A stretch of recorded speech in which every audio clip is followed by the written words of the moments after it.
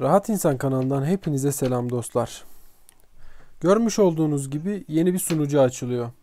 Biz de bu sunucuda e, diğer Türkiye'deki hesabımızla beraber bu sunucuda da e, oynamaya başlayacağız. Tabi diğerinde oynamayı bırakmayacağız. Bunda da oynamaya devam edeceğiz.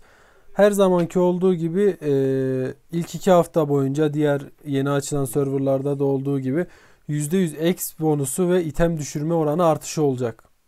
Yani bu biraz daha iyi kasılmak için e, ve item düşürmek için güzel.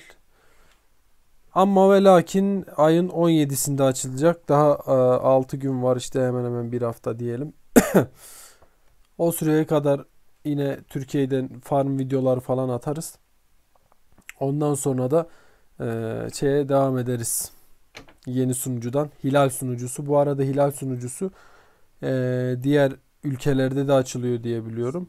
Yani farklı bir isim olarak. Orada Hilal ne anlama geliyorsa onunla ilgili veya farklı bir isimle ilgili başlayacakmış yeni sunucular. Ee, bu arada oyunda dönen bazı olaylar var. Ne zamandır dönüyor ama e, kimseye inandırılamayan olaylar vardı.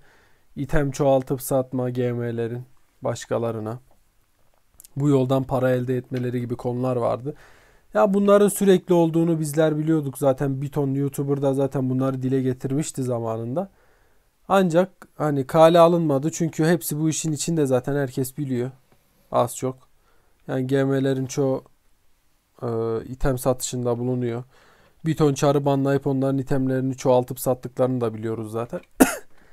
Her neyse. Yeni sunucuda devam edeceğiz dostlar. Ee, Türkiye ile beraber devam edeceğiz.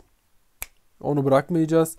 Hem onda farm videoları hem de bunda e, yeni sunucuda farm videolarına ve ufak bir gelişme videolarına devam edeceğiz.